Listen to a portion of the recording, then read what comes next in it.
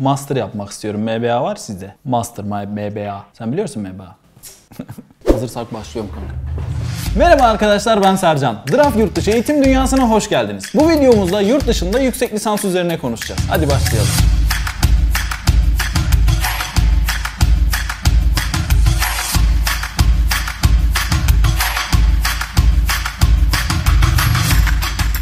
Lisans eğitimini tamamlayanların ya da tamamlamaya yakın olan insanların hayal ettiği muntazam bir eylemdir. Özellikle iş dünyasına girmeye ramak kala gerçekleştireceğiniz bu eylem sizi iş dünyasında hem görünür hem cazip kılacaktır. Peki nelere dikkat etmek gerekir? Size uygun ülke neresi? Hangi üniversitede eğitim alacaksınız? Yaşam maliyetleri nedir? Ulaşım nasıl yapılır? Bunlarla ilgili kafamda deli sorular. Bu soruların sizin aklınızda olduğunu da biliyorum. Bunlarla ilgili her ülke ve üniversitenin farklı gereksinimleri var. Ülke, üniversite yaşam maliyetleri, bilgilerini link olarak aşağıya ekleyeceğim. Oradan ihtiyacınız olan bilgilere ulaşabilirsiniz. Yurt dışı yüksek lisans başvurularınızda not ortalamanız ve dil yeterliliğiniz başlıca incelenecek kriterlerden. Kriter.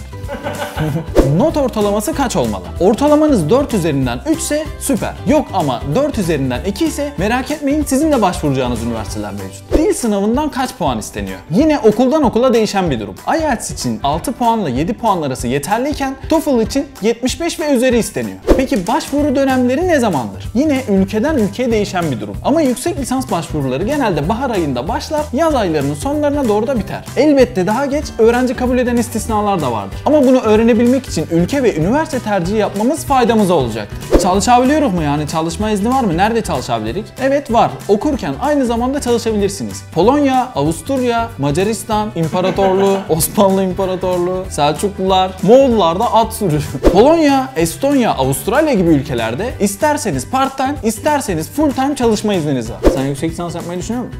Askerlikten kaçmak için. Askerlikten kaçmak için yüksek lisans başvuruları. Oğlum öyle şey mi olur lan?